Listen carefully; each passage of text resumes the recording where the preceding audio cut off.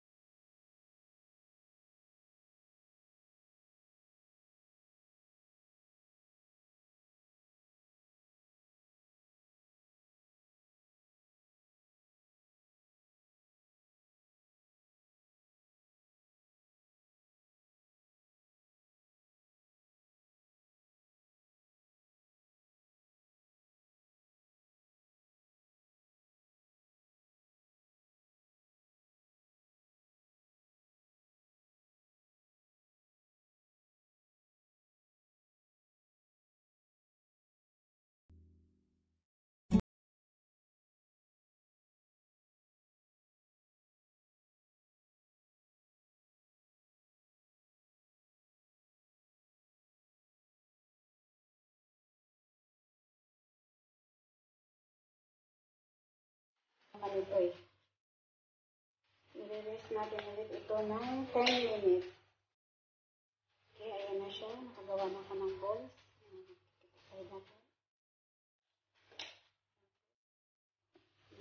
Ganon at ganon pa rin ang gagawin.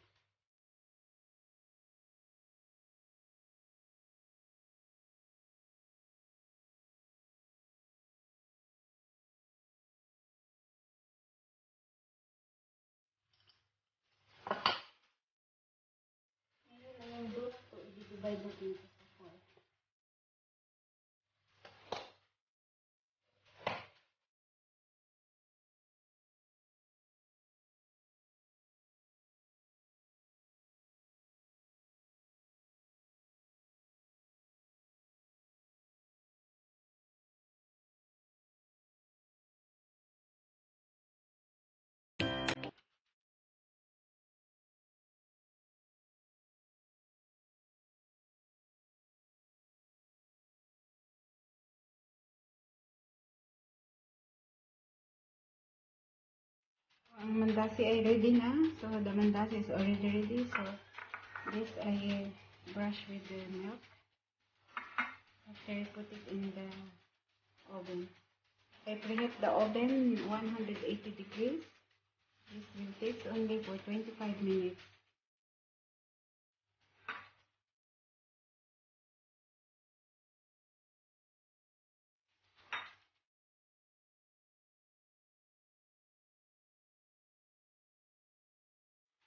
So I keep again inside the oven for 180 for 20, 25 to or 20 minutes.